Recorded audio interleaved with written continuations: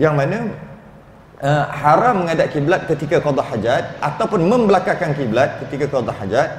Uh, ya, pertama kerana dia Kaabah. Kaabah adalah hormat sikit kerana binaan yang paling mulia di atas muka bumi adalah Kaabah. Sesiapa yang mengatakan KLCC lebih mulia daripada Kaabah berdosa. Ataupun kalau mulia tu mungkin bunyi ayat pelik sikit kita tukar sikit. Siapa kata KLCC lebih hebat daripada Kaabah? Ah. Berdosa. Berdosa. Oh, Kaabah petak-petak macam tu warna hitam ada selimut. Kat sisi tengok berapa berapa tingkat? Berapa tingkat? Banyak tingkat. Oi, ada dua pula tu. Ada jambatan kat tengah-tengah. Kaabah tak ada. Jadi hebatnya kat sisi berbanding Kaabah. Kaabah tu biasa je. Siapa cakap macam tu berdosa?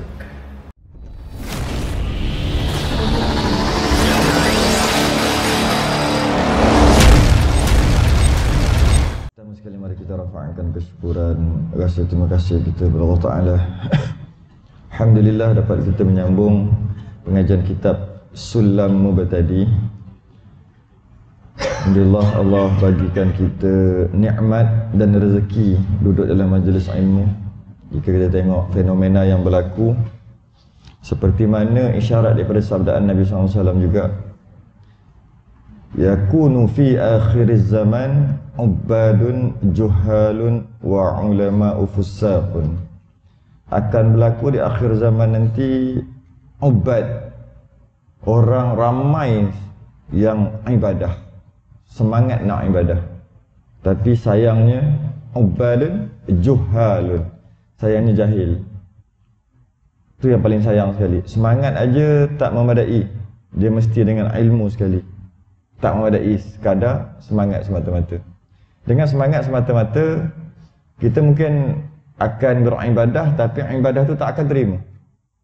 Ibadah tu tidak akan diterima sebab semata-mata semangat. Mungkin ibadah yang dilakukan tak sempurna syarat dan rukun, mungkin juga boleh jadi macam tu. Jadi oleh kerana itu kita tak memadai dengan semangat. Ha, dan sama juga dalam ibadah-ibadah yang lain tak memadai dengan solat, tak memadai. Dia mesti disertakan dengan belajar solat sekali. Ataupun solat, belajar solat dulu baru solat. Mana-mana satu lah. Tak memadai dengan kita pergi ambil uduk untuk semayang. Tak memadai. Dia kena belajar ambil uduk tu. Jadi nak belajar kena melazimi majlis ilmu. Yang mana kalau kita tengok fenomena yang berlaku walaupun semangat untuk kembali kepada agama dululah rawaskan dan bertaubat tapi masih lagi semangat yang ada ilmu masih lagi tak ada kesedaran yang betul-betul mantap sedangkan Allah berfirman dan diisyaratkan dalam surah Al-Kahfi dah jelas dah. Qul hal nunabbi'ukum bil akhsarina a'mala. Mahukah kami khabarkan kepada kamu orang paling rugi a'mala, amal perbuatan, amal ibadah, semua kebaikan yang dia buat. Alladzina dhalla sa'yuhum fil hayatid dunya. Dia kata dunia dia buat amal ibadah, dia semangatlah. Wahum yahsabuna annahum yuhsinuna sun'a. Sekali ibadahnya tak dikira langsung. Kerana semangat semata-mata. Jadi nak tak nak kena belajar lah Allah hari ini seperti yang dijanjikan Kita akan sama kitab Dan kitab yang kita baca nama Sulam Dia agak ringkas. Uh, Matan yang kita akan baca sangat pendek Lebih kurang setengah baris Tapi kita akan jelaskan lebih kurang satu jam. Uh, Sampai pukul 9 Kalau sempat Yang mana kita akan uh, membicarakan berkaitan dengan satu kawasan yang untuk kita qada hajat. Bahasa Melayu dia panggil jamban. Uh, bahasa orang putih dia panggil toilet. Bahasa Arab dia panggil al-gha'it. Tak kisahlah apa istilah sekalipun. Selagi ianya tempat buang najis kat situ, uh, dia ada hukum-hukum yang tertentu. Jadi tanpa mem- kita mempelajari berkaitan dengan tempat kita buang air, kita akan salah meletak hukum. Sebab kena tahulah, kena belajarlah. Yang kita duduk belajar selama ni pernah ke kita belajar berkitab, belajar ada sandarannya uh, jamban tu apa? Ha, boleh kata tak ada orang belajar lagi, jamban tu apa benda? Apakah dia jamban? Ada? Tak kan? Kita anggap daripada kecil mak, bapa, adik-beradik kita yang lebih besar, dia kata, ah masuk masuk, ah, nak buang air. Masuk jamban, masuk jamban, masuk jamban. Atau masuk bilik air, masuk bilik air. Ataupun masuk toilet dan sebagainya lah. Tak kisahlah dia nak istilahkan apa. Jadi kita ingat jamban tu yang tu lah. Iaitu masuk, dia kena ada pintu, dia kena ada dinding. Kalau soalan yang sangat mudah kita tanya. Nak tanya mudah, soalan simple. Jamban ni mesti kena ada dinding ke? Nak dinamakan dia jamban? Pun orang boleh jawab lah. Padahal hari-hari duk masuk jamban. Tapi bila sebut, kalau tak ada dinding, tak sah ke jadi jamban? Kalau tak ada atap, boleh jadi jamban juga tak? Kita dah mula, eh, jamban mesti ada atap. Oh, maknanya syarat sah jamban mesti ada atap. Ha, masuk ke agama sikit syarat sah jamban. mesti ada atap. Iya ke macam tu? Benda simple je nampak. Tapi kalau tak belajar, kalau tak belajar, kita takkan tahu. Dan kita akan tersalah meletakkan. Kerana dia ada hukum-hukum yang berkaitan. Antara hukum-hukum yang berkaitan adalah haram membawa uh, tulisan-tulisan uh, yang mulia dalam jamban. Dalam bilik air yang kita panggil bilik air yang bukan mandi ni, tempat buang najis tu. Haram bawa benda-benda yang mulia. Contoh Al-Quran ke, kitab-kitab ke. Dan tak boleh juga menyebut perkataan-perkataan yang mulia seperti ayat Quran dan sebagainya tak boleh masuk sebut dalam jamban. Jadi kalau kita tak tahu kawasan dia kat mana, macam mana kita nak nak tentukan kita boleh masuk ke tak boleh masuk? Ha, kita nak perlu melangkah kaki kiri, kaki kanan. Kita kena tahulah kawasan jamban tu apa, baru boleh kata kaki kiri, kaki kanan.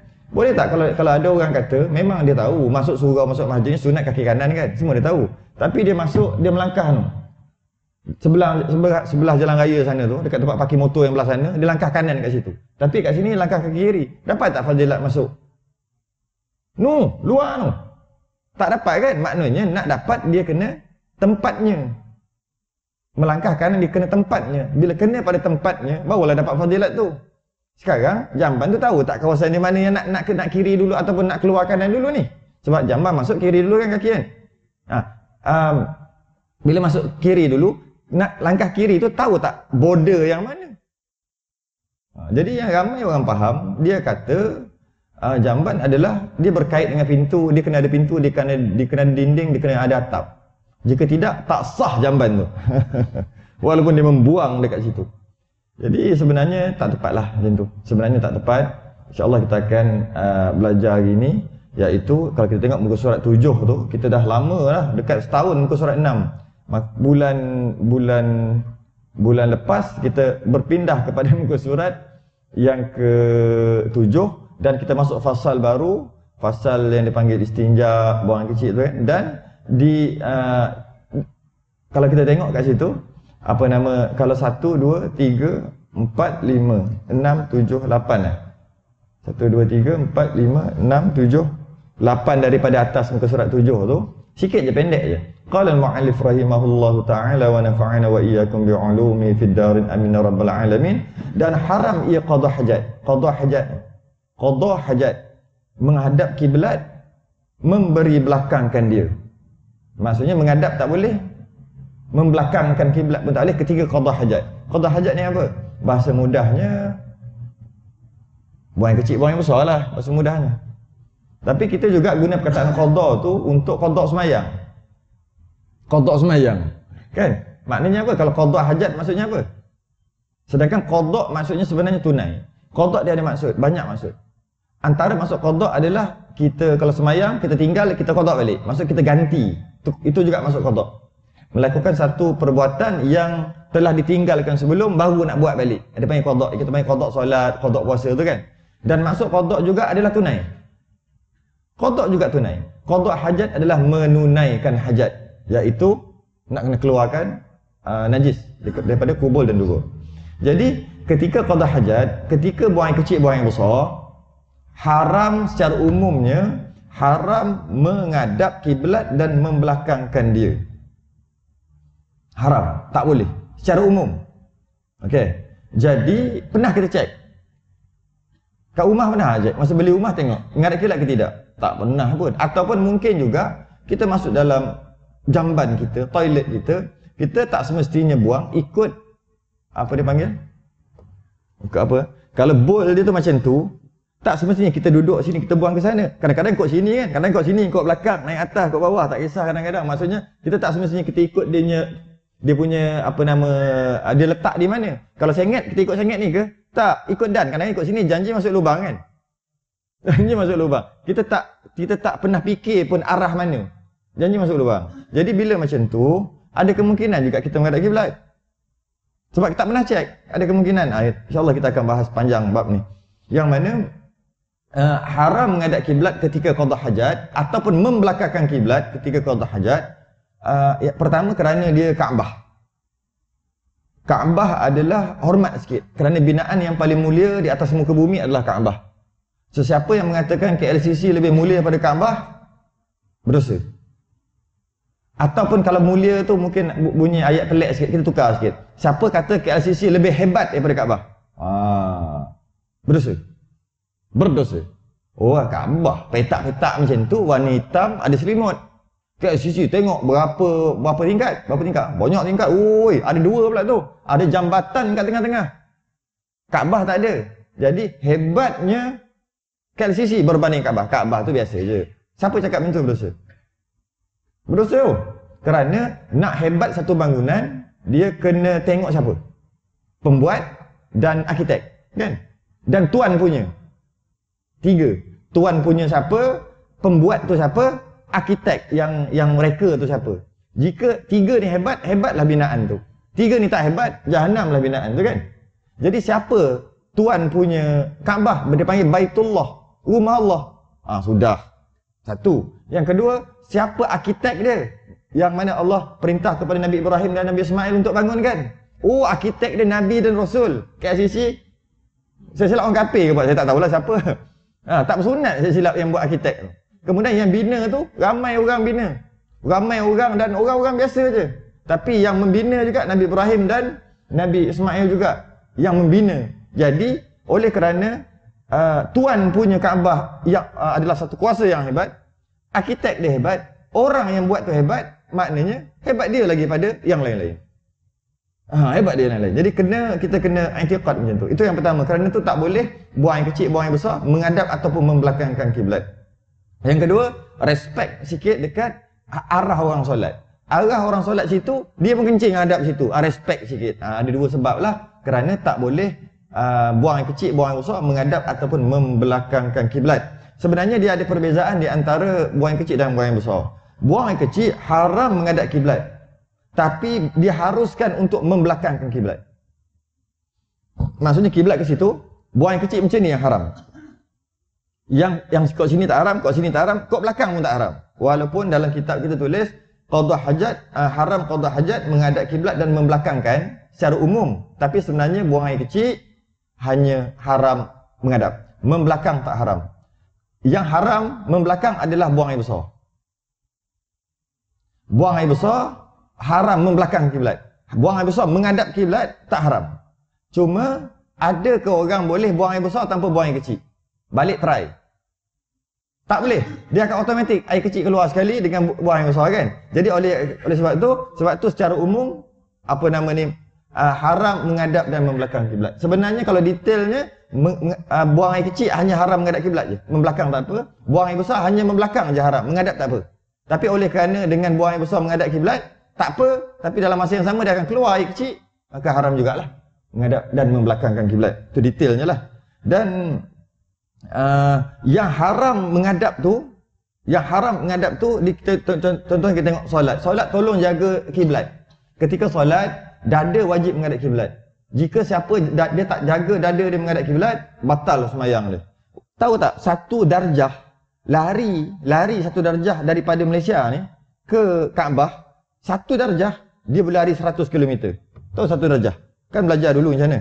Nak sebut saya susah. Macam mana? Eh? Kalau macam ni berapa? Ni, L. Macam ni. Ha, berapa? 90. Kalau straight 180. Macam ni kan? Kalau bulat penuh 360. Okey. Jadi kalau straight 180. Kalau macam ni apa ni uh, 90. Okey. Kita kalau kecil ni kurang daripada tu, macam mana nak buat? Macam ni, macam ni 45 lebih kurang lah kan. Maka dia sikit sikit sikit sikit sikit darjah dia tu. Kalau lari satu darjah, katalah ni kiblat, lari kata sikit dah. Tu tu tu. Satu konon-konon ni satu darjah ni. Ni, sikit dah. Sikit dah. Lari kat atas 100 km tu.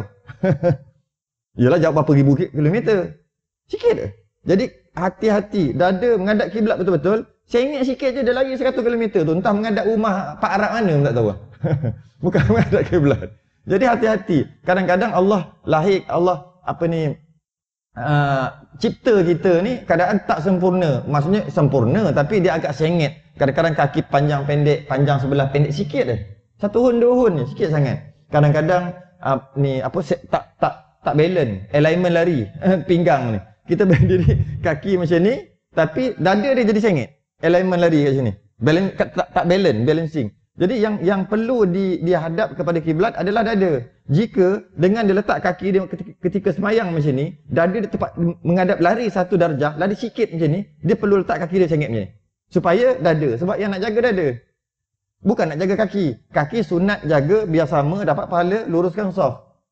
Itu dari segi sunat. Wajib dada. Jadi nak mana? Nak dada menghadap kiblat ke kaki yang sama?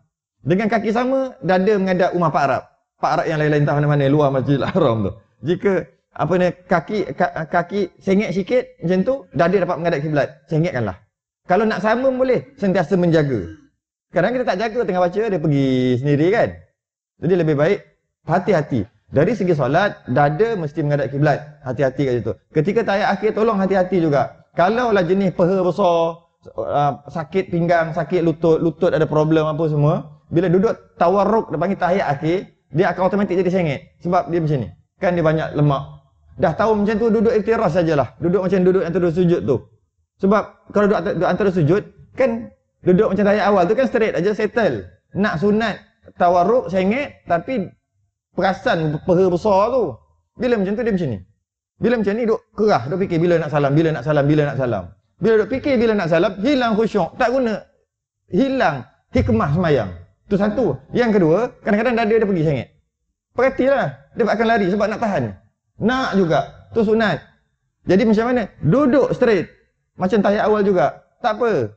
Lagi bagus. Dada tolong jaga. Dalam masalah solat, dada kena jaga. Menghadap kiblat. Dalam masalah, buang air kecil. Yang kata haram menghadap kiblat. Bukan haram dada. Ha, tu saya nak sebut ni. Bukan haram dada menghadap menghadap, menghadap kiblat. Bukan. Alat tu menghadap kiblat. Haram. Maksudnya buang air, air kencing tu keluar, menghadap kiblat itu haram. Kalau dada ataupun badan dia menghadap kiblat, alatnya ke kiri ke kanan, tak haram. Dia kan bearing kan, dia boleh kurang kiri kanan. Katalah, Allah menghadap, menghadap kiblat ni, dia pun cepat, takkan nak pusing. Kalau dia pusing, habislah berterabur. Dia apa? Alat dia, dia buat pergi, cing ke tepi. Ah, dah tak haram lah. Walaupun badan dia dan dada dia menghadap kiblat. Jadi sedikit perbezaan di antara solat dan uh, qadha hajat. Solat wajib dada menghadap kiblat, dada beralih daripada kiblat batal. Jika tak sengaja cepat-cepat betulkan. Masih lagi dimaafkan. Kalau duduk biar aja batal solat. Berbeza dengan keharaman qada hajat buang air kecil haram menghadap kiblat. Yang haram tu bukan dada bukan badan bukan. Alat je. Ha. walaupun nampak macam menghadap kiblat kalau alat dia ke sana tak ada masalah. Alat dia ke sini tak ada masalah. Okey itu sedikit perbezaan. Dan apa nama ni uh, uh, haram yang dimaksudkan adalah haram menghadap kiblat tu dan haram ia qada hajat menghadapkan kiblat. Kita ada dua kiblat, tahu tak? Umat Islam ada dua kiblat. Kadang-kadang kita orang Islam, kiblat kita pun tak tahu. Umat Islam ada dua kiblat. Yang pertama kiblat Kaabah. Iaitu dekat Masjidil Haram dekat Mekah tu. Yang kedua, kiblat kita Masjidil Aqsa yang geng-geng Israel Yahudi nak nak ambil tu. Ha, itu kiblat kita yang pertama. Itu kiblat yang pertama uh, ketika eh, Nabi Isra dan Mi'raj, Nabi dapat solat 50, akhir sekali turun naik 9 kali, dapat last kali 5. Walaupun kita solat 5 waktu, pahalanya macam 50. Okey, selesai satu. Kemudian uh, ketika turun-turun tu as, uh, perlulah solat sebab kefarduan dah terima. Waktu tu solat lebih kurang setahun lebih, lebih solat menghadap ke Masjidil Aqsa, Baitul Maqdis. Waktu tu menghadap situ. Cuma Nabi SAW dia cerdik. Fatanah. Macam mana? Ini Kaabah. Kita ambil contoh lah. Bukan? Okey. Ini Baitul Maqdis. Ini Baitul Maqdis kat sini.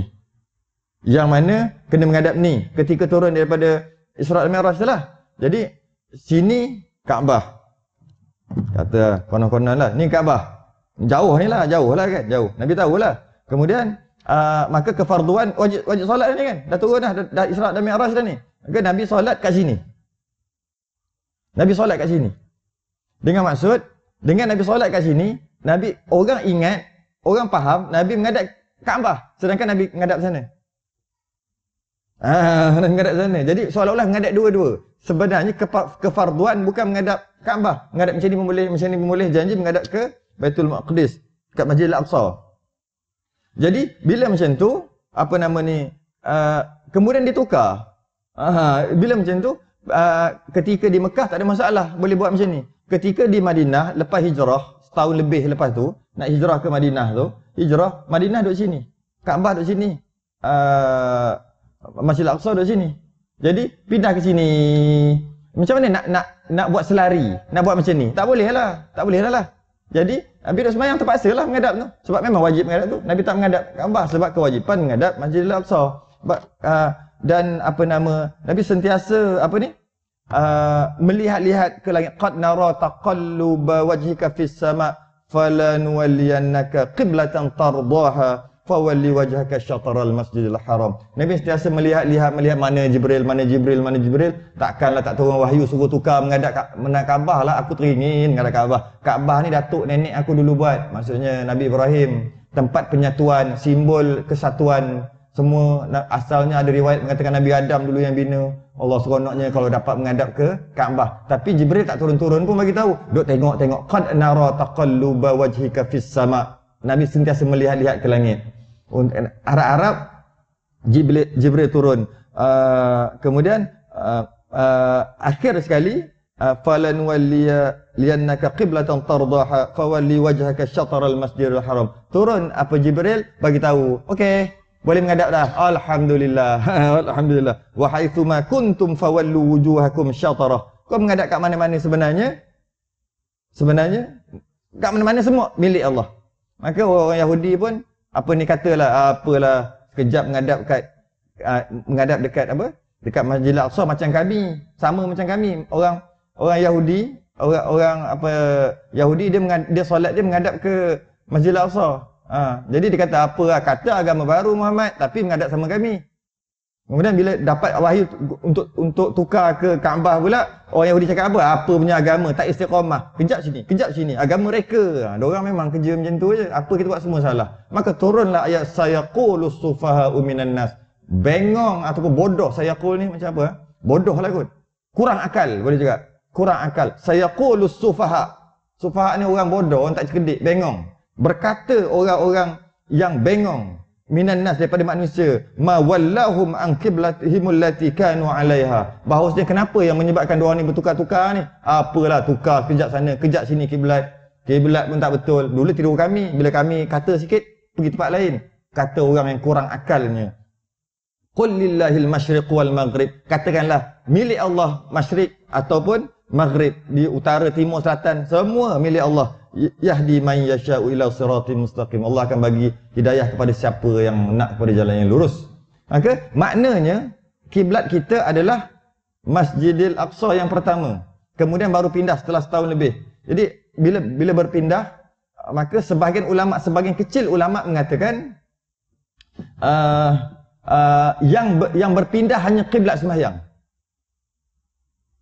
Kiblat sembahyang je yang berpindah kiblat dari segi keharaman uh, buang apa ni qada hajat kan tak boleh menghadap. Jika kiblat itu adalah di Masjid Al-Aqsa tak bolehlah qada hajat buang yang kecil menghadap dia. Jadi sekarang ni bila dah bertukar uh, arah sembahyang adakah boleh dah kencing ke situ? Ah ha, contohlah macam tu. Ah sebagian ulama kata tidak tak boleh. Kerana yang bertukar hanya Kaabah eh, yang bertukar hanya arah sembahyang sahaja. Arah tu tak tukar kita pernah cek kat mana? Kat belah mana? Masjid Al-Aqsa biasa kan tak ke check kat luar baru ni? Tengok langit, tengok bintang yang tiga-tiga tak? Kena check ada juga. Kalau kita tengok dia punya apa bearing tu, apa nama ni, kalau dekat Malaysia ni bearing Kaabah 291, 292. Aha, ada ujung-ujung sikit 293, bla bla sempadan-sempadan dah.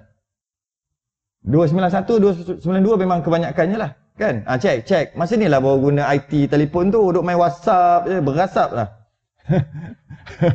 Jadi, apa nama? Masjid Al-Aqsa 299. Bearing dia 299. Ah, 292? Ha? 292 dengan 32? 5? 292.52. Poin tak payahlah. Bundar lah kalau hamba nak poin-poin. Ingat kelas matematik ke? 292 lebih kurang tu lah. Belah-belah ni ada 291 yang ujung-ujung tu. Belah ujung-ujung selatan ni ada 293. Tapi area 292 lah. Bearing Masjid Al-Aqsa adalah 299. Mana? Ha. Kira lah. Cari lah. Jadi, oleh kerana ada pendapat, ada ulama yang mengatakan hanya uh, yang beralih hanya kiblat sembahyang, yang lain kekal, maka kalau boleh janganlah buang air kecil ke situ. Ha, walaupun pendapat Muhammad dalam mazhab Syafi'i kata tidak. Sebab dia adalah bekas kiblat. bekas kiblat. Macam mana pun kita kena kena jagalah. Ha, kena jagalah. Orang itu orang kafir nak macam-macam dia cakap. Dia kata ya, dalam tu ada tempat Nabi Sulaiman, Nabi Daud dan Nabi Sulaiman bawah daripada tu ada macam-macam harta-harta. Ada macam kan orang uh, raja dulu bawah tu ada sihir-sihir ketika dua malaikat uh, uh, apa uh, Harut Marut yang, yang diutuskan dia ajar sihir dan sebagainya tu kan. Uh, yang itu ada disimpan semua sihir-sihir tu dulu dalam tu. Nabi-Nabi uh, Sulaiman dia panggil Solomon kan dengan Nabi David kita panggil Daud simpan dalam tu kerana tak nak bagilah sebab nak, benda tu benda tak elok kan jadi tutup jadi dia dapat tahu nanti dia akan dapat oh, mulalah cerita-cerita dia orang yang cerita tak tahu ya ke tidak jadi sebab tu dia nak sangat tu ha, dia nak sangat tu jadi sebenarnya kita perlu bertahan lah sebab dia antara kiblat kita yang pertama tu. Biar ada feeling sikit. Biar ada feeling. Cuma uh, hukumnya sunat tak wajib. Dengan maksud jika nak buang air, alamak, Masjid Al-Aqsa. Ah, pergi tempat lain. Tapi nak buang air, alamak, Masjid Haram. Ah, wajib pergi tempat lain. Tak sunat. Wajib pergi tempat lain. Wajib bearing tu, alat tu bearing tukar bearing. Ke sini. Walaupun badan ke sini. Ha, tu tukarlah dengan badan-badan sekali, dengan kapal-kapal sekali. Takkan tukar bearing tu je. Faham lah macam tu eh. Okey. Soalannya sekarang ni, jadi masalah. Masalahnya adalah uh, uh, haram secara mutlak ataupun tidak. Faham tak? Haram secara mutlak. Macam mana? Asalkan buang air kecil, buang air besar, haram menghadap kiblat. Secara mutlak, macam mana kalau dalam toilet? Maksudnya dalam jamban ataupun ke kat padang, Kat padang pasir macam mana? Kat dalam hutan macam mana? Adakah hukum tu sama? Hukumnya berbeza. Ha, hukumnya berbeza. Dia ada dua jenis. Yang pertama, qadha hajat, adab qadha hajat, hukum-hukum qadha hajat, buang yang kecil, buang yang besar, uh, di satu tempat yang mana tempat tu bukan disediakan untuk qadha hajat. Bukan disediakan untuk berak kencing. Ha, tu bahasa Melayu keluar. Oh terasa Melayu sikit kan? Kita nak Melayu, Melayu, Melayu, tiba-tiba bab-bab tu tak mau tak, tak mau sebut. Babi sebut khinzir. Babi je lah. Sebut khinzir macam masa babi masuk Islam lah. babi tak, bukannya mencagut. Cuba tengok dalam kamus Dewan Bahasa. Babi tu satu binatang yang tak ada hidung, yang naik ke atas, tak ada leher, tak ada sembelih tu. Kan? Ha? Apa masalahnya? Bukan kata-kata kita mencagut apa. Ha, jadi gunalah bahasa kita. Kan kita apa ni selalu nak apa? Apa ni cinta kepada bangsa kita dan cinta kepada bahasa hubbul watan minal iman. Sayang kepada bangsa dan apa saja yang berkaitan dengan bangsa sebahagian daripada iman tau. Sayang bangsa Melayu iman, sebahagian daripada iman, sayang bahasa dia. Cuma jangan lebih daripada Islam je. Tapi sayang tu Nabi sayang bangsa, Arab. Ha, bukan kata kita tak boleh sayang langsung bangsa ni. Bangsa kena sayang. Bangsa kita. Ha, dengan bangsa kita lah kita jadi macam ni. Acuan bangsa kita kita jadi macam ni. Oh, muka macam ni makan sama belacan, hidung penyek tak terpacak macam tu lah. Kalau terpacak tu confirm belah Pakistan punya keturunan tu. Senang aja. Ha, jadi jadi apa nama ni tempat qada hajat atau tempat uh, jamban ataupun tempat berak kencing yang mana dia tu uh, uh, qada hajat di tempat yang bukan disediakan bukan dikhususkan untuk qada hajat dia qada hajat contohnya di pantai pantai bukan tempat bukan disediakan tempat tu untuk qada hajat Bukan untuk jalan untuk pantai. Jadi bila dia buang air kat situ, dia tertakluk pada hukum. Itu satu dulu. Hukum ni hmm, kita akan sebut je lagi. Yang kedua padang. Padang tak ada pun kita. Padang ni siapa nak berak datang pakat-pakat ramai. Mana ada? Dia bukan tempat. Tapi kalau orang buang juga di padang, okey, dia ter, dia tertakluk kepada hukum-hukum yang kita akan sebut tadi. Dua dah. Ah, tiga hutan. Hutan juga sama. Tak ada hutan yang tempat hutan orang berak tak ada. Hutan memang tempat hutan. Jadi jika dia nak buang di situ, dia tertakluk kepada hukum-hukum. Tadi tiga dah kan? Uh, hutan apa? ataupun satu binaan, satu binaan yang ada dinding, yang ada atap dah apa, binaan yang mana walaupun itu binaan dia tidak di uh, dikhususkan untuk qada hajat. Apa binaan yang tidak dikhususkan untuk qada hajat? Rumah ruang tamu kita untuk qada hajat ya? Tak kan? Tapi di binaan kan. Jika nak buang air kat ruang tamu, janganlah bayang bukan-bukan. Buang air kat ruang tamu, dia ada hukum yang perlu dipatuhi. Ha, bukan kita tak boleh. Umat ruang tamu kita kan. Suka hati kita lah. Apa nama dapur kita, kita nak buang air kat situ. Suka hatilah. Cuma, jika dia buang air di tempat yang bukan dikhaskan untuk qadah hajat, dia tertakluk kepada hukum ni. Hukum ni tak sebut lagi lah, hukum ni. Dia tertakluk kepada hukum ni. Ha, maknanya, ada keadaan dia buang air, dia dia berak kencing di tempat yang memang dikhususkan untuk qada hajat, ah dia ada hukum lain. Itu nanti. Ah kita nak cerita hukum yang seseorang yang qada hajat di tempat yang bukan dikhususkan untuk qada hajat. Okey? Contohnya saya bagi contoh pantai, padang, hutan, uh, dalam binaan tapi binaan tu bukan dikhususkan. Kalau binaan tu nama yang petak, besar dia uh, lima kali lima kaki kali lima kaki. Ada lima. Tujuh kan? Tujuh kali berapa? Dan ada bowl dekat tengah tu. Ah itu memang dikhususkan kan? Ke untuk khususkan untuk makan tu? Khususkan? Ah jadi hukum dia berbeza di situ. Hukum dia berbeza. Ah kita akan bincang hukum di tempat yang bukan dikhususkan untuk qada hajat. Dia qada hajat juga. Boleh ke? Boleh. Boleh. Cuma jangan tanah orang. Tanah orang masalah lain pula lah. Dosalah mencemarkan orang atas tanah orang. Ini tempat yang contohnya di pantai, di padang, di hutan, dalam binaan tapi tempat itu bukan dikhaskan untuk qada hajat. Jadi hukumnya adalah haram menghadap dan membelakangkan kiblat. Haram menghadap dan membelakangkan kiblat kecuali ada sutrah, kecuali ada hadangan. Di hadapan dan di belakang. Dan hadangan dia tu mestilah apa nama ni dari segi jaraknya tiga hasta, dari segi tingginya dua per tiga hasta. Satu hasta banyak ni. Dua per tiga. Macam ni kot. Banyak ni lah kot. Enam inci lebih kuat. Enam tujuh inci. Tinggi, tinggi. Okay. Tinggi enam tujuh inci. Dan jarak dia dengan dinding yang enam tujuh inci tu sekurang-kurang. Elok buat lebih lah tapi sekurang-kurang. Jarak dia dengan dengan jarak tempat dia buang air tu dengan dinding atau sutrah yang dia letak tadi tu yang kata sekurang-kurang 6 7 inci tu mestilah tidak lebih daripada 3 hasta. 3 3 kali ni. Ha, sini kot. lebih kurang. Tiga, tiga hasta. Jarak. Jika lebih, haram. Jika lebih dan menghadap kiblat, haram. Ha.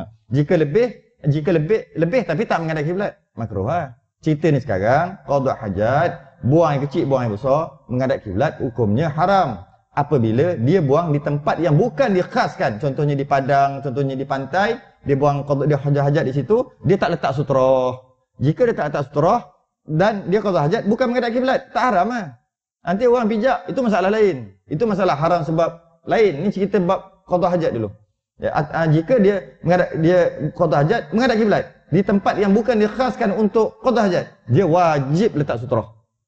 Iaitu tak lebih daripada dia dengan sutrah ataupun apa hadangan tadi tak tak lebih daripada tiga hasta. Tingginya uh, tidak kurang daripada dua per tiga hasta. 5 6 7 inci itu jika dia buang air duduk.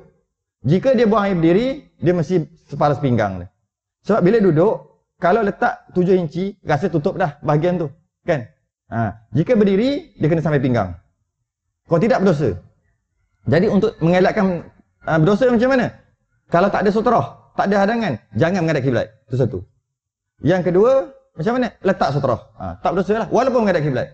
Ha. Ini bukan cerita nanti orang tengok, bukan bukan. Ini cerita-cerita lain. Bab orang tengok aurat tu masalah lain. Ini masalah berdosa qada hajat je dulu. Jadi uh, jadi sebab itulah kalau kita nak pergi ke, satu tempat, contohnya dalam hutan ke tempat kat padang ke mana, nak buat tak tahan dah ni, nak kencing ke nak apa ke nak buang. Kadang-kadang anak-anak kita kita ajar dia kan, dah bawa kereta, tak ada cari RNR, RNR tak ada sebab dia RNR tol kan, tol tak apa lagi kan. tak lagi, tol ada lagi, dia turun jalan bawah, bajek. Turun jalan bawah, lepas tu ada longkang. Ada longkang, tepi highway tu tak, biasa RNR sempat. Anak-anak kencing dah. Jadi dia, dia, lalu jalan bawah. Jalan bawah, susah nak cari RNR. Jadi bila sampai ke tepi tu, tengok ada longkang tempat sembunyi sikit. Dia okay, cepat, cepat, cepat, cepat, cepat. Nanti habis kereta aku ni. Cepat, cepat, cepat. Keluar, ah kencing situ. Dia ada ajar anak dia tak? Mana kiblat? Patutnya kena ajar dulu, bawa anak dia fikir. Oh, tak boleh menghadap kiblat. Sebab longkang bukan dikhaskan untuk qada hajat. Dia buang kat situ, boleh ke? Boleh. Tak ada masalah. Cuma patut eh kiblat kat mana? Ah masa tu kena ada ilmu untuk menentukan kiblat. Kurang-kurang pun buka. Per, ayah cari apa ya? Ayah cari apa nama ni? ayah cari kiblat. Eh, apa hal pula ni ya? Asal ayah, ayah cari kiblat? Asal cari kiblat? Ayah nak semayang ke apa ni? Eh, bukan. Bukan nak semayang. Uh, jadi maksudnya bila jumpa kiblat uh, jangan ataupun kalau nak cari papan nak letak hmm, budak terburai dululah. Uh, jadi masalah lah pula kan. Jadi ajar dia. Sekejap eh. Ataupun tengoklah kalau tengok matahari boleh matahari jatuh ke sana. Matahari kita di Malaysia uh, ke, ke barat kan. Ke, bila matahari jatuh tu kat situ lebih kurang. Jadi ala ke lain, harga ke lain. Supaya anak kita faham. Ini bukan anak, bapak pun main macam bomba macam tu je. Jadi anak tengok, oh tak ada masalah. Sedangkan hukumnya haram. Kerana tempat tu bukan dikhususkan untuk qada hajat. Dan apa nama ni, uh, kalau kita tengok orang dulu, orang dulu-dulu uh, dia qada hajat dekat pantai. Tak, uh, saya tak sebutlah negara negeri mana-mana pun, tapi ada jenis buat kat pantai sambil-sambil dia melihat ke keindahan keindahan ciptaan Tuhan. dia pakai kain kain kain plekat, dia tinggal kepala je macam penyu. macam penyu. Kepala je ada, dah bawah tutup, lepas tu dia tahu-tahu je dia tinggalkan emas-emas je. Jadi soalannya sekarang ni dia menghadap tu ke mana? Jika dia menghadap tu ke kiblat berdosa tak? Cuba cerita. Cuba cerita. Berdosa tak? Tak berdosa. Kerana ada sutra. Mana sutra dia? Kain dia tu. Ah, sutra lah tu. Bukan tiga hasta dekat dengan dia. Tak ada masalah. Jika menghadap kiblat sekalipun tak ada masalah. Dari segi orang nanti terpijak, atau orang maki, apa kau tempat kau kau berak tempat ni, itu cerita lain. Itu masalah lain. Saya tak nak masuk masalah tu. Nak cerita dari segi keharusan untuk qada hajat, berak kencing. Uh, jadi kena ada sutra kena ada sutrah uh, uh, walaupun macam tu walaupun ada sutrah tidak haram kata Imam Nawawi khilaful aula tak elok tapi tak berdosa uh, uh, kata Imam Rafi'i makruh makruh jadi oleh kerana itu sebaik-baiknya apa nama ni sebaik-baiknya jangan menghadap kiblat lah okay. jadi macam tu juga kalau kita masuk bilik air kita masuk ataupun kita panggil jamban ataupun bilik air kita uh, kadang-kadang dia kencing di Bukan di dalam bowl. Dia kencing tempat air mengalir, air keluar tu ke. Katalah kat situ. Adakah tempat air mengalir tu dikhususkan, dibina, diniatkan untuk tempat kotor hajat? Berak kencing situ ke? Di tempat air keluar tu, yang keluar tu kan, air keluar mandi kan, air keluar kat tu, lubang. Dia kencing di situ. Okay, dia kencing di situ, lubang tu, dia shooting masuk, shoo, straight masuk. Pandai dia shooting. Jika macam tu, soalannya nak, nak soal kat sini. Adakah tempat itu, bulatan tu, lubang tu, dibina, dikhaskan untuk qada hajat? Tidak. Bila tidak, tertakluk. Haram ke? Sekatilah rumah masing-masing. Sekatilah nak nak duduk jauh, syung, masuk direct, nak duduk dekat, sekati. nak bagi momentum tu laju, slow, naik macam ni, straight, tak kisah. Suka hati. Suka hati. Cuma, cuma, jika tempat tu bukan dia khususkan bukan dia khaskan untuk qada hajat, dia tertakluk kepada apa nama sutra tadi. Jika tempat tu dinding dia walaupun lubang di situ, dinding dia jauh ke depan. Kalau kita kira lebih tiga hasta. Dinding bilik air dia tu lebih tiga hasta. Lubang tu sini, dia kencing ke dalam lubang tu. Yang mana lubang tu bukan dikhususkan untuk qada hajat. Dan depan lubang tu, dinding tu kalau kira lebih tiga hasta, empat hasta. Dia buang menghadap kiblat haram. Ah ha, tu ya, poin dia kat situ. Ha, kadang-kadang kita buat kerja haram lagi-lagi oi. Hati-hati sebab tu. Hati-hati. Apa nama ni? Uh, itu yang pertama. Itu yang pertama. Yang kedua, uh, ada yang kedua. Yang kedua, tempat yang memang dikhususkan untuk qada hajat. Ah itu hukum berbeza. Contohnya bowl. Bowl walaupun orang Jepun, orang apa? Orang Korea, orang apa dia makan dalam tu. Pernah tengok? Tapi bukan dia makan dalam tu. Ah, restoran dia. Style ah, dia dia buat benda tu, dia makan dalam tu mi apa. Ya Allah, tak ada kerja lah orang ni. Kita tengok berkembang dekat dah. dia makan dalam tu tu dia orang punya pasal. Sekarang ni benda lah bowl tu, bowl dia panggil kan? Bowl betul kan? Bowl tu dia letak di rumah dan dia letak di dalam satu kawasan, satu bilik kecil kita panggil. Apa nama ni? Apa tujuan dia letak? Khususkan untuk apa? Untuk qada hajat, buang yang kecil, buang yang besar. Maka jika buang air kecil, buang air besar di situ hukumnya berbeza. Macam mana hukumnya? Hukumnya jika tempat itu, lubang itu, kawasan itu dikhususkan untuk qada hajat, maka boleh menghadap kiblat boleh membelakangkan kiblat walaupun sutroh jaraknya jauh mana sekalipun. Walaupun tak ada dinding sekalipun. Ha, jadi maksudnya kat sini dia bergantung kepada niat. Dia bergantung kepada niat. Dan ini juga antara maklumat apa dia missing information, maklumat yang tak ada dalam masyarakat. Macam dulu, ingat tak bab solat jamak?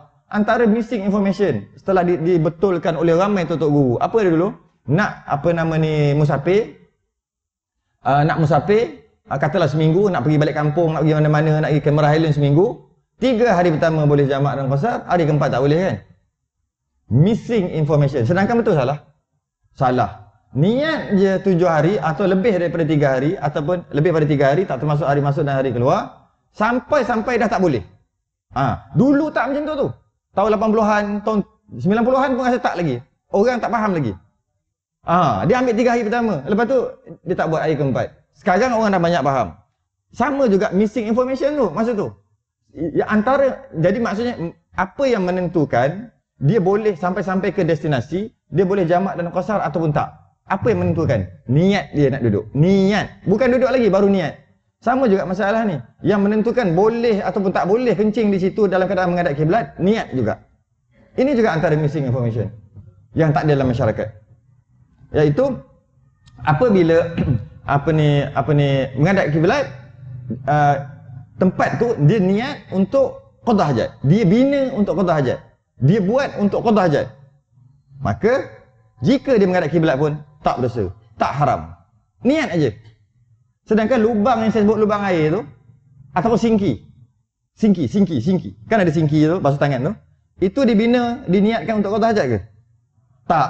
Jika dia kencing dalam tu, suka hati dia, rumah dia kan. Dia kencing dalam tu, tertakluk kepada menghadap kiblat tadi.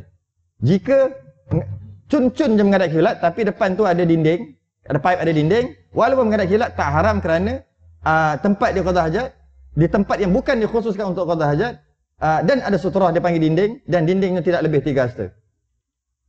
Ha, jika kebetulan dia sengit ke sikit ke sini sikit ke sana yang mana kebetulan itu adalah apa ni kiblat dia kencing dalam singki menghadap kiblat dan apa nama ni jarak dinding tu dinding dinding bila air dia tu lebih tiga hasta haram dosa. Ha, ini missing information missing information yang masyarakat tak tahulah kenapa tak tahu. tak tahulah kenapa tak tahu.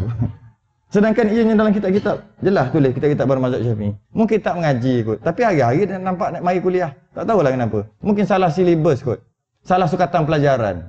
Baru tadika pergi masuk universiti. Memang jam eh. Baru belajar kali tambah tiba-tiba masuk tu belajar admat tu. Memang Darjah tiga, darjah empat, darjah lima, darjah enam Bukan belajar yang nak masuk bahasa Ar.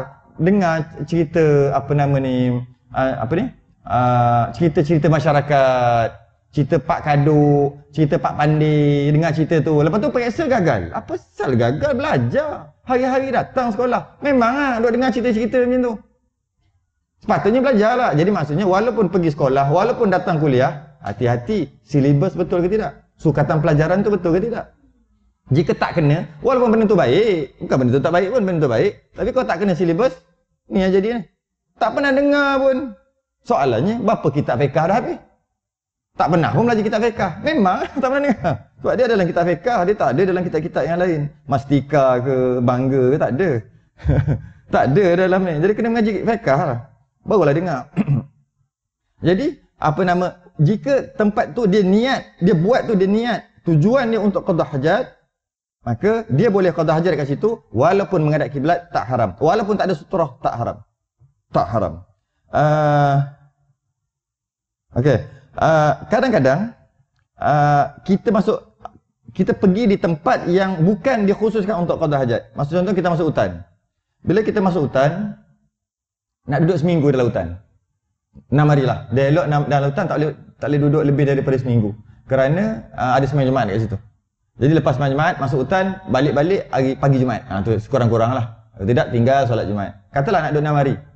Bila nak duduk 6 hari, dia buat kemah apa semua masuk dalam hutan, tak kisahlah nak memburu ke apa ke, tak kisahlah tu. So. Jadi bila macam tu, takkan dia nak buang kejap ke sana, kejap sana, kejap sana, cerek sana, cerek sini, cerek sana, cerek sini kan. Mesti dia orang masuk hutan dia tahulah, dia akan cari satu tempat yang strategik Yang agak-agak terlindung apa semua, jauh daripada kemah dia. Nanti kan bau taik dia sendiri kan. Jauh daripada kemah, tak lama bahaya sangat. Kalau tengah buang tu harimau datang sempat lari. sempat elak. Ini tengah-tengah buang harimau terekam. Habis. Arwah kat situ juga. Dia pandai lah orang-orang masuk hutan ni tahulah. Ha, tempat yang terdedah boleh nampak jauh dan sebagainya. Okey, dia kata, dia kat sini. Dia akan gali tau. Dalam hutan, dia akan gali. Biasa dia pakai gali, pakai cangkul. Ca- apa dia panggil ya? Kalau di Kelantan orang panggil cok betul. Cok betul. Apa nama? Sekejap eh. Dia punya cangkul dia bukan straight. Apa bahasa? straight. Jadi dia ada biasa cangkul macam ni kan. Cok cok betul lah, cok yang betul. cok cok macam ni panggil. Oh, cok saja. Oh. Bat, uh, kayu lepas tu straight. Jadi bila dia perak perak macam tu, dia nak buat lubang besar ni, boleh lah. Kalau pakai cangkul tu, nak buat lubang besar ni, jadi besar ni. betul? Ha, jadi dia nak buat besar ni, agak-agak lah besar ni. Jadi dia pakai cak, cak, cangkul tu. Cup, cup, cup, cup macam tu kan. Dia akan buat dalam. Dia ambil, ambil, ambil, buat lagi. Ambil, ambil. Akhir sekali, dalam mungkin, dalam juga. Dalam. Mungkin dalam ada sampai orang boleh buat sampai uh, tujuh kaki pun boleh. Kalau, kalau, kalau, tapi susah lah. Lebih melampau, okey. Uh, tiga kaki, tiga kaki. Dalam tak? Tiga kaki. Ah, tu lah. Okey lah. Uh, uh, tiga kaki boleh. Dia pun dah susah nak buat kan tiga kaki. Katalah dia buat tiga kaki. Kenapa dia buat dia buat sampai tiga kaki? Kenapa dia tak gali sikit-sikit aja? Nak buang kecil, buang besar ni. Jika dia buat sikit-sikit, dia prek sikit, lepas tu dia kambus. Kalau nak prek kali kedua, nak kena gali balik. Faham? Bila dia buat dalam-dalam tiga kaki, peluk masuk najis, dia tutup sikit je. Dia jatuhkan tanah sikit dia. Prek, tutup dah. Ha, dia pergi. Nanti esok lusa, datang situ lagi. Buang lagi.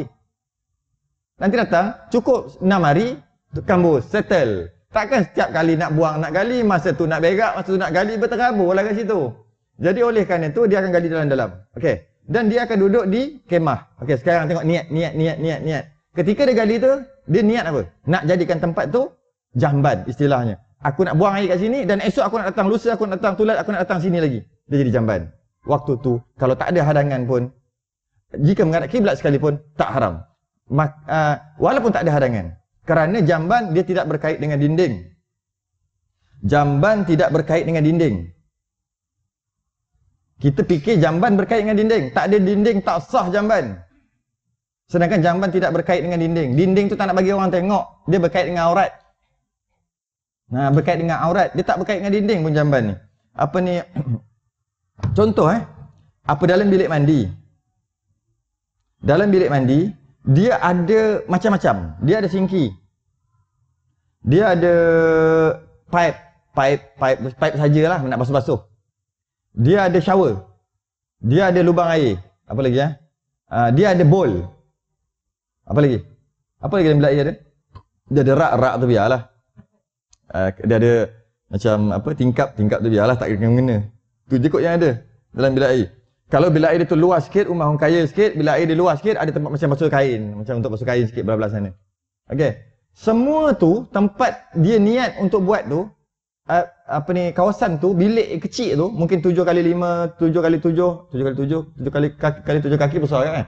Besar kan? 7 uh, 6 kali 3 5 kali 3 5 kali 3 eh? Kecil sangat tau. Kita ambil yang lebih sikit lah uh, uh, 5 kali 4 uh, orang kaya sikit. Uh, rumah terek rumah terek orang kaya. Terek dua tingkat double story.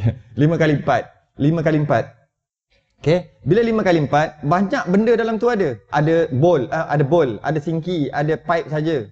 Ada shower. Semua ada dalam tu. Bila dibina tempat tu, adakah dibina sinki untuk berak dalam tu? Tidak.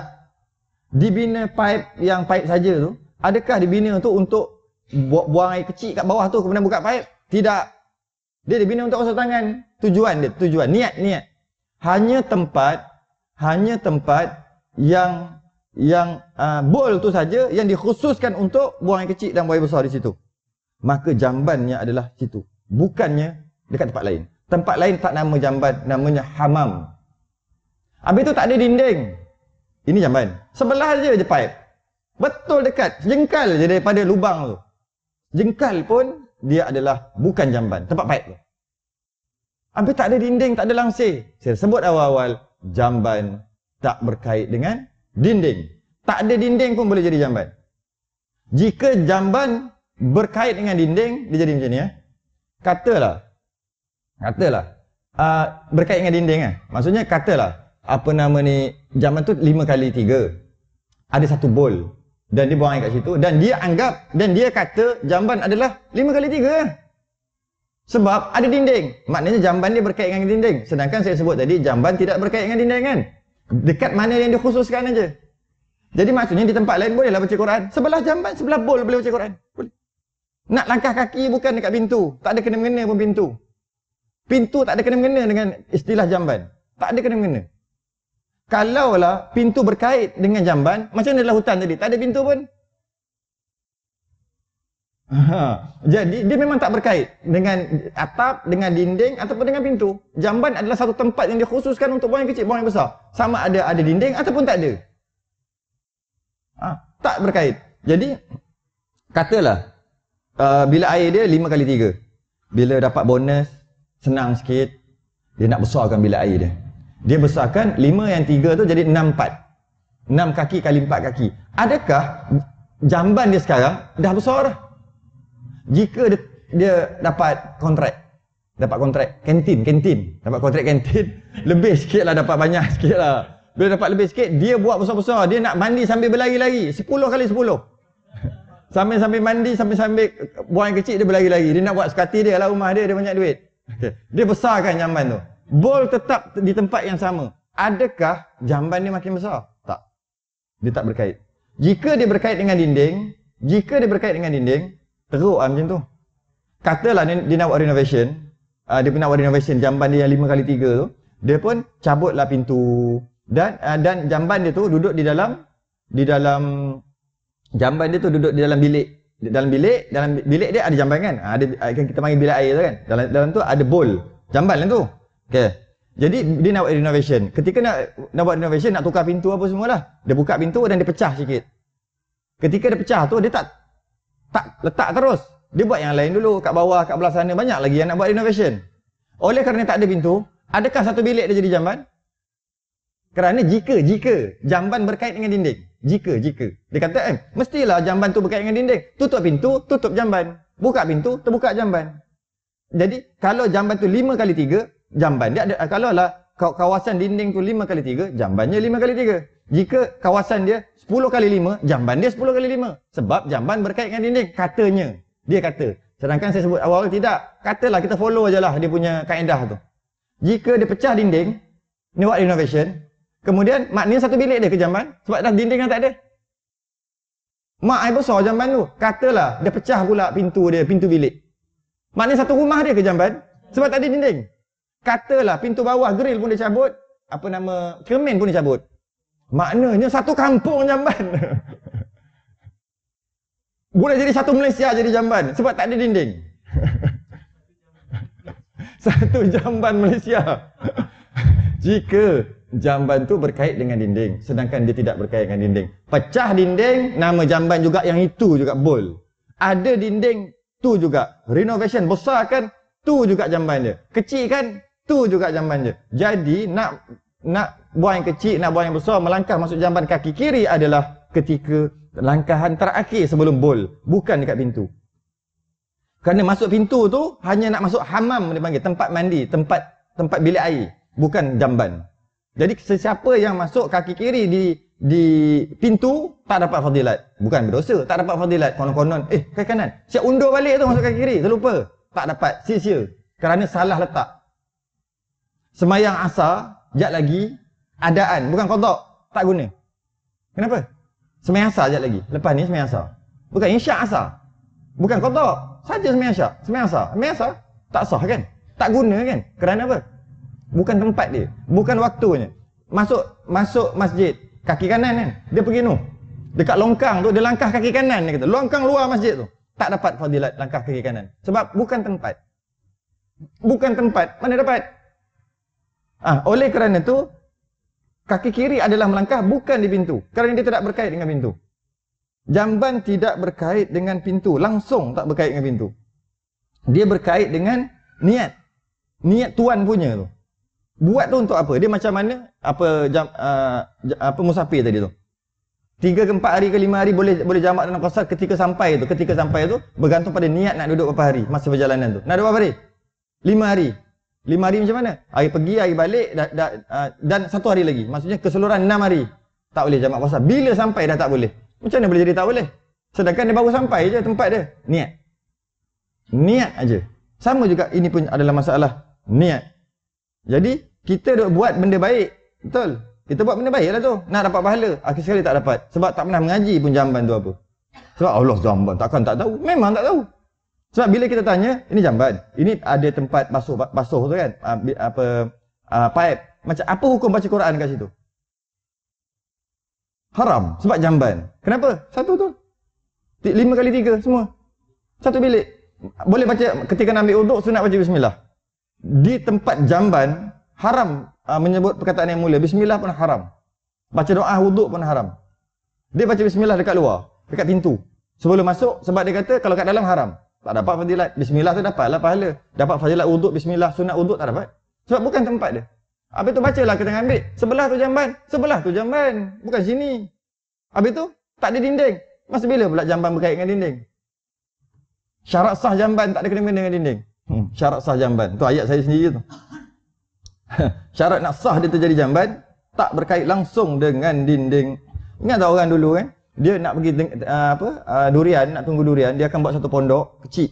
Pondok durian lah. Dan untuk dia buang air apa semua dia akan buat satu pondok lagi tapi tak yang lebih kurang je. Biasa dia pacak-pacak lebih kurang dan dia letak guni. Dia letak guni, lebih kurang je dia buat. Lepas tu ada lubang, dia buat gali sikit-sikit aja. Sebab dia setahun sekali je dia tunggu durian tu. Dan itu tanah dia lah. Dan dia buat tu, niat dia nak buat apa? Nak buat jamban kan kat situ. Lama, tiap-tiap tahun, guni tu lama-lama reput. Guni tu lama-lama reput. Jika, jika jamban bergantung ataupun berkait dengan dinding ataupun uh, guni tadi, sebab dia dah buat besar tu, jamban dia besar tu lah. Okay. Lama-lama reput, reput, reput, reput, reput, jatuh habis semua apa guni tadi. Maknanya jamban satu kebun lah. Jika berkait dengan dinding. Itu antara hujah. Dia tak ada kait pun dengan dinding. Jamban ni tak ada kait dengan dinding. Tak ada kait dengan pintu pun. Kita duduk sibuk dekat pintu tu. Nak baca doa kat pintu. Baca doa apa? Uh, terhindar daripada khubusi wal khaba'ith. Bukan baca kat pintu. Bukan. Kecuali masuk-masuk pintu, terus. Uh, lubang kat situ. Ah, iyalah kat pintu. Kan dia masuk dalam lagi. Baca kat situ, Allah. Bukan tempat dia. Bila nak baca? Langkahan terakhir. Mana yang mana bila langkah dah tak boleh langkah dah lagi dah. Ah itu langkah kaki kiri dan baca Allahumma inni a'udzubika minal khubuthi wal khaba'ith di situ.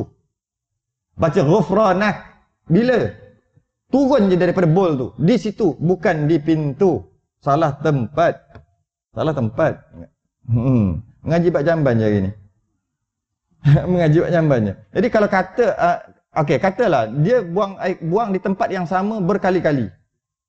Katalah adakah dengan uh, uh, ta, uh, buang air kecil, buang air besar di tempat yang sama berkali-kali, sedangkan dia tak niat itu sebagai jamban, adakah jadi jamban? Tidak. Walaupun setiap hari. Contohnya dia suka kencing dalam lubang tu lah, lubang air keluar. Elok-elok bol ada, dia nak jimat air. Kalau buang di situ, kan banyak air tu. Nak jimat, dia cari mana lubang yang ada. Ah, ada satu lubang. Dia, dia buka bendalah tu, apa? Uh, sangkut penutup tu, yang sangkut sampah tu tarik, dia duduk jauh-jauh, masuk brrr, dalam tu. Okey, hari-hari dia buat kerja macam tu. Adakah dengan dia buat hari-hari macam tu, lubang tu bertukar jadi jamban? Tak. Kerana dia bergantung pada niat. Niat dia nak buat jamban ke? Tidak. Habis tu, macam tu lah. Habis boleh menghadap kiblat. Nah, haram malam menghadap kiblat? Ya, haram jika menghadap kiblat waktu tu. Yang, yang mana tak ada sutrah tadi. Ha, jadi, kalau katalah, dengan kita mengekali hari-hari buang air tempat yang sama, walaupun tak ada niat nak jadikan dia jamban, tiba-tiba dia jadi jamban juga. Kesianlah kat anak kita yang kencing tidur-tidur kencing atas tilam. Maknanya tilam tu jamban dia lah. Sebab hari-hari dia kencing. Tak, tetap tilam tu nama tilam. Bilik tu tetap bilik, tak jadi jamban. Walaupun dia kencing hari-hari kat situ. Walaupun. Kalau katalah anak kita yang lagi kecil, yang duk pakai diaper tu. Hari-hari loji dia, dia bawa aku ke Lukili. Maksudnya ada biasa dudukkan loji je budak tu rupanya. Dudukkan jamban. Hari-hari duduk jamban. Tidak. Bukan tempat tu diniat dan dikhususkan. Perbahasan ni agak panjang lebih kurang setengah jam lagi. Saya kena berhenti dah dan kita pun rasa dah faham dalam masalah tu. Ha, saya bincang bab ni di U UPM ni. Tiga jam. Daurah jamban. Tiga jam. Baru habis. Tapi bila sebut, Ya Allah Ustaz, kita orang semua tak kenal jamban kita orang sebelum ni. Ya, betul. Tak kenal. Tak pernah mengaji pun jamban tu apa. Maka hukum hukum yang dia buat tu salah. Langkah kaki, kaki kiri tak dapat pahala. Kaki kanan keluar daripada jamban tak dapat pahala. Baca doa salah tempat. Ah, ketika wuduk tak baca. Bismillah tak baca doa. Sebab apa? Sebab dalam jamban. Baca di tempat lain dan sebagainya. Banyak benda-benda yang dia tersalah kerana salah meletakkan kawasan tu. Kawasan tu. Senang kalau masjid boleh tahiyatul masjid, dia solat tahiyatul masjid dekat parking. Tak dapat tahiyatul masjid, bukan tempatnya. Dia sembang tahiyatul masjid dekat rumah, lagi tak dapat. Kenapa? Bukan tempatnya. Macam tu juga dengan jamban. Jadi uh, kita akan uh, tak sambung dah, cukuplah setakat tu. Walaupun ada lebih kurang setengah jam lagi ni untuk bahas ni. Kita masuk dan uh, dan haram juga menanggung nama-nama yang mulia. Tak boleh buat masuk nama-nama mulia. Ada uh, apa ni ayat Quran. Ayat Quran tulis I love Muhammad. Boleh tak masuk jamban? Ah jamban yang mana ni? Ah jamban yang tadi lah, bukan jamban yang faham lama tu. uh, masuk dalam RNR. Masuk dalam RNR banyak jamban di dalam jamban. Dia panggil. Betul tak? Masuk gambar lelaki. Jangan masuk gambar perempuan. Tak boleh. Walaupun dia dah tukar, tetap masuk yang asal juga. Jangan. Itu cerita lain, itu cerita lain, itu cerita lain, itu cerita lain. Dah dah cukup. Jadi bila masuk, masuk lelaki dia masuk-masuk, dia tengok banyak bilik. Dia pun masuk kaki kiri. Salah tempat. Itu bukan jamban lah. Itu pintu masuk. Lepas tu dia tengok pula ada bilik-bilik bilik bilik kecil. Bilik kecil itu kecil sungguh tu. Ah itu baru jamban yang sebenar. Maknanya dia boleh baca Quran kat luar tu. Sambil bunyi plup plup plup orang dia baca Quran kat luar tu. Tak ada masalah. Luar singki kat luar tempat pasal tu bukan jamban. Bukan tandas. Bukan tandas tu dah bahasa lain. Jamban lah istilah Melayu. Bukan. Bukan. Jadi jika dia dia pakai nama-nama yang mula dia bawa ah, boleh tak pakai name tag? Name tag nama dia masuk buang air besar. Pernah belajar hukum dia apa? Ke dah buat? Dah buat tunggu minggu, bulan depan. Kita tengok macam mana. Boleh ada name tag. Kadang-kadang ni yang ada orang pakai kepiah apa namanya? Uh, capal. Ataupun sini ke sini ke buat butang. Ha, boleh tak buat masuk? Tu je nak tanya je. Bukan nak bagi jawapan. Jawapan bulan depan. Boleh tak buat masuk? Ataupun boleh tak ringtone?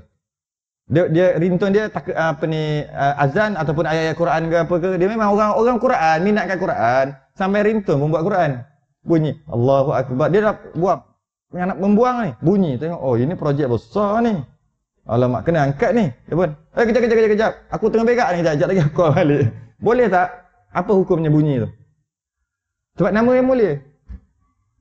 Azan, bacaan Quran dan sebagainya. Itu semua pelajaran bulan hadapan. Wallahu alam. Tangguh dulu. Sudah disediakan tasbih kafarah dan suratul subhanakallah. السلام عليكم ورحمة الله وبركاته.